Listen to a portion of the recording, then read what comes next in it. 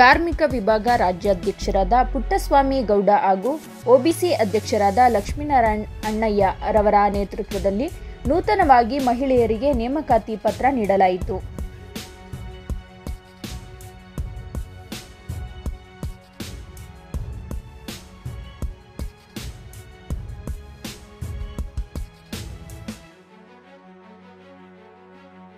ಕರ್ನಾಟಕ ಪ್ರದೇಶ ಕಾಂಗ್ರೆಸ್ ಸಮಿತಿಯ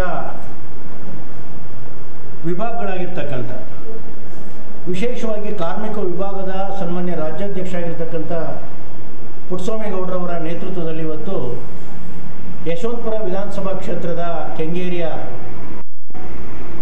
ಏನು ಶ್ರೀಮತಿ ಸಹೋದರಿ ಪದ್ಮಾ ಅವರು ಹಾಗೂ ಇನ್ನೋರ್ವ ಸಹೋದರಿ ಪದ್ಮಾ ಅವರಿಗೆ ಅಧಿಕಾರವನ್ನು ಹಸ್ತಾಂತರ ಮಾಡೋದ್ರ ಮೂಲಕ ಎರಡು ಸಾವಿರದ ಇಪ್ಪತ್ತ್ಮೂರರ ಚುನಾವಣೆಗೆ ಸಂಘಟನೆಯನ್ನು ಮಾಡ್ತಕ್ಕಂಥ ಒಂದು ವ್ಯವಸ್ಥೆ ಒಳಗಡೆ, ಏಕೆಂದರೆ ಅವರ ಸಹಪಾಠಿಗಳ ಒಂದು ಸ್ನೇಹ ಜೀವನದೊಂದಿಗೆ ಅನೇಕ ಹೆಣ್ಣು ಮಕ್ಕಳುಗಳು ಇವತ್ತು ಹಾಲಿ ಇರ್ತಕ್ಕಂಥ ಸರ್ಕಾರದಿಂದ ಬೇಸತ್ತಿರ್ತಕ್ಕಂಥ ಒಂದು ವಿಚಾರವನ್ನು ತೆಗೆದುಕೊಂಡು ಕಾಂಗ್ರೆಸ್ ಪಕ್ಷ ಯಾವತ್ತೂ ಕೂಡ ಜಾತಿ, ಮತ, ಪಂಥ, ಪಂಗಡಗಳನ್ನು ನೋಡದಲೆ ಸರ್ವರು ಕೂಡ ಒಂದಿರ್ತಕ್ಕಂಥ ಒಂದು ಭಾವನೆ ಮುಖಾಂತರ ಇವತ್ತು ಇಬ್ಬರು ಸಹೋದರರಿಗೆ ಅಧಿಕಾರವನ್ನು ಹಸ್ತಾಂತರ ಮಾಡಿದ್ದಾರೆ.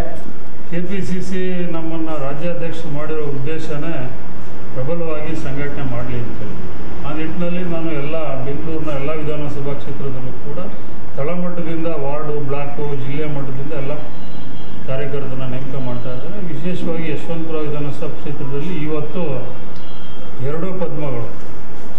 ಒಂದು ಜಿಲ್ಲಾ ಪ್ರಧಾನ ಕಾರ್ಯದರ್ಶಿಯಾಗಿ ಇನ್ನೊಬ್ಬರನ್ನ ವಾರ್ಡ್ ಅಧ್ಯಕ್ಷನಾಗಿ ನೇಮಕ ಮಾಡಿದ್ದೀನಿ. ಬೇರೆ ಬೇರೆ ಬೇರೆ ವಿಭಾಗದಲ್ಲಿ ಇದ್ದರೂ ಕೂಡ ನಮ್ಮ ಕಾರ್ಯವೈಖರಿಯನ್ನು ನೋಡಿ ನಮ್ಮ ವಿಭಾಗಕ್ಕೆ ಬಂದಿದ್ದಾರೆ. ಅವರಿಗೆ ತುಂಬ ಹೃದಯದ ಆರೈಕೆಯನ್ನು ಆರೈಕೆ ಮಾಡಿ. ಕಾರ್ಮಿಕ ಇಲಾಖೆಯಲ್ಲಿ ಪೋಸ್ಟ್ ತೊಗೊಂಡಿದ್ದೀರಾ ಏನು ಅನ್ನಿಸ್ತಾ ಇದೆ?